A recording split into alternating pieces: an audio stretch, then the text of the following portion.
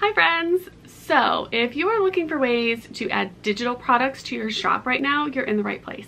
I am currently under a shelter in place order in Austin as I film this um, because of quarantine and all of that fun, exciting stuff. Um, so I know a lot of people are looking for ways to add digital products to their lineup if they have physical goods. So um, I've got six different ways to add income without selling physical products. And these are really great career paths. There are a lot of people who dive headlong into one of these niches and really go for it and make full-on careers out of it. So let's talk about it now. All right, so first and foremost, if you are an illustrator or a designer or a letterer, freelance. this is probably a no-brainer, but um, if you're someone like me, I used to freelance a long time ago and I didn't really like it, um, but out of necessity, a lot of people are coming back to it. And a lot of people make their entire careers. They have booming careers just from freelancing. Like that's that's just what they do and it's amazing. Um, so if you're looking for resources for that, you can firstly email your friends and contacts just let them know, hey, you know, I'm looking for freelance work. Here's my portfolio. Um, you know, do you have any leads for me? Do you have any connections that might be good? Always reach out to your friends first because they might have a bead on something that you don't even know about. So it's good to just put it out there and let people know that you are freelancing because uh, people won't know otherwise. You gotta put yourself out there. Um, another way you can kind of find work and get resources is through your local AIGA. And there are, used to be meetups, not so much anymore, but they have lots of really great digital resources and uh, community there. So look up AIGA in your area and they will definitely have something for you.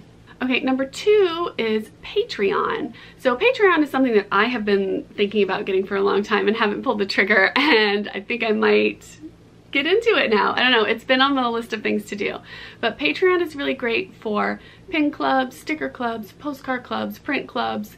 Um, you can do physical products and send things out uh, monthly to subscribers at different tiers, but you can also do things like um, you can have exclusive podcasts or Q&As or draw with me sessions. Um, what else? I wrote something else down. Oh yeah, exclusive newsletters, um, exclusive lives, stuff like that um, that you can give to people. Wallpapers, downloads, so like think of them all off the top of my head.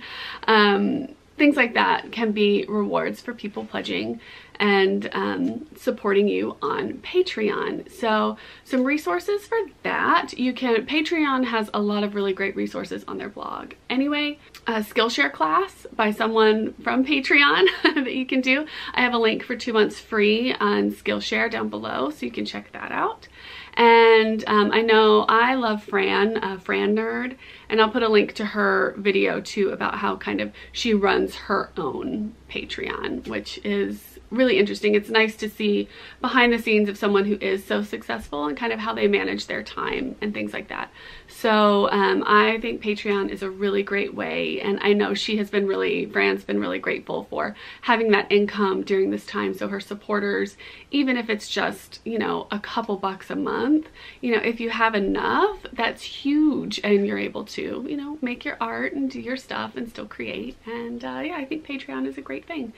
Okay, the third thing you can do is add downloads to your shop.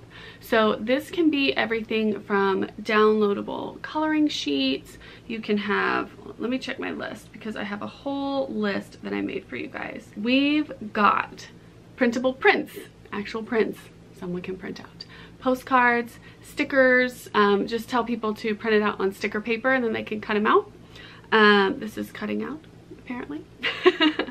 um, banners, photo booth props. How fun would photo booth props be right now when you're stuck at home? You can make your own kind of photo booth and take silly pictures to post, things like that. You could do wrapping paper, you can do greeting cards, photographs that people can print out. Um, and then you can get into the patterns, so like embroidery patterns, cross stitch patterns. If you crochet and knit at all, you could sell those. There are marketplaces, places like Ravelry where you can sell patterns and things like that. Um, so there are lots of different things you can do to um, add downloadables for a couple of bucks into your shop. Etsy also allows uh, downloads, which is really great. So I actually have a list. I made a little checklist for you so you can download that below. So check that out.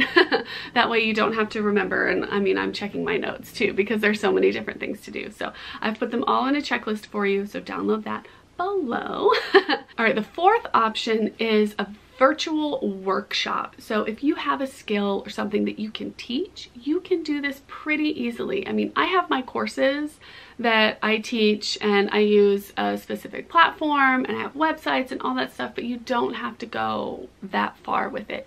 You can just open a Facebook group and just have a pop-up Facebook group, go and teach something live or go put up a video that you've already made and chat with people and then people can pay you for access to that. So you could have a workshop that you charge like 25 to 100 bucks for depending on what the subject is. So you can use a Facebook group for that. You could even like have a special email list and send out like unlisted YouTube videos so they have access to it. You could do a YouTube or an Instagram live and then people can pay for access to that video after you do it. Um, but I do think probably the Facebook is probably the easiest and cheapest, probably quickest way to get that out there and get that done. So start brainstorming on things that you can teach other people um, because there's definitely uh, room for that right now. Okay, the fifth one is kind of a big one and a little bit more difficult, but it is a way to go. you can license your artwork. So there are people who make their entire careers out of licensing artwork. I actually purchased a course called um, Art Licensing for Letterers, and I reached out to the, um, the creators of the course, Katie from Katie Made That, and she has a friend that she did it with, and um, I asked her, like, is this just for letterers or can this be for illustrators in general? And she said it was great for really everybody. They were speaking speaking to letterers because that's what they do. Um, but I'm not really a letterer, so I wanted to make sure before I purchased the course. And she said it would. She said, uh, she said it would work uh, for anyone. So um, that's something to think about too if you want to look into art licensing. Um, that way, it's uh, that's when larger corporations or other businesses purchase the rights to use your work on their stuff and um, that way you don't have to do any of the product production. They're really just paying you for permission to use your artwork. So that is definitely another way to go. And it kind of goes into my sixth thing, which is print on demand.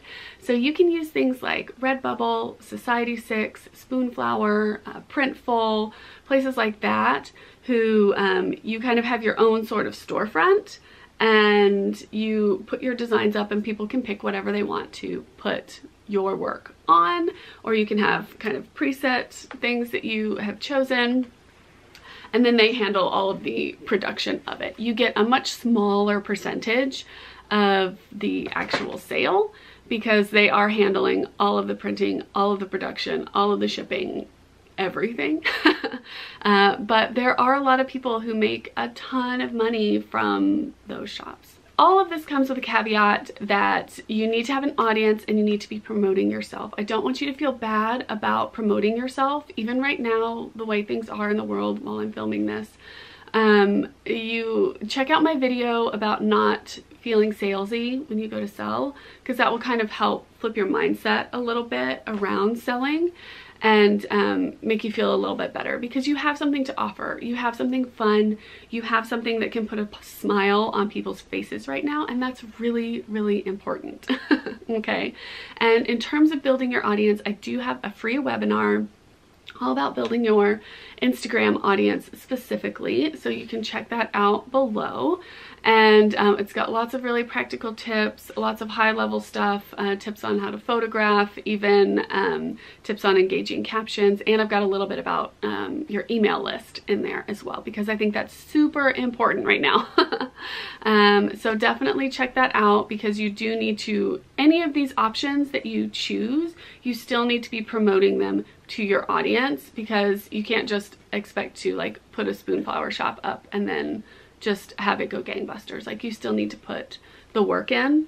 Uh, but if you put the work in and whatever you feel like focusing on, you know, kind of go all in and figure it out and do it for yourself. And then you can have digital products to sell on top of physical stuff and uh, I think that can really help. So yeah, so give me a like and a subscribe. Our um, secret emoji for the video is pizza because we've been eating a lot of oven pizza during our quarantine. um yeah so give me a pizza if you made it this far if you found this useful let me know below which one of these um you think you would want to get into or if you've already done this kind of thing um let me know which ones are working for you and we can talk about it in the comments. I would love to have a good discussion about ways that we can all add digital products to our kind of physical product shops and uh, and how to make that work. So yeah, and I have the checklist down below of um, the different kind of downloads that you can add to your shop. So check that out too. Just check out the links below. I got a lot of links below, you guys. so um, give me a like and a subscribe. And thank you so much for watching. I truly appreciate it. Stay safe, wash your hands, and I will see you next week. Bye.